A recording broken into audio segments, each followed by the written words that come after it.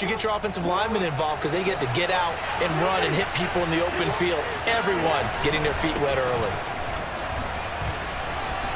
Dobbins hit and he fumbles. And the Giants have it. It's picked up. And his guys are going to take over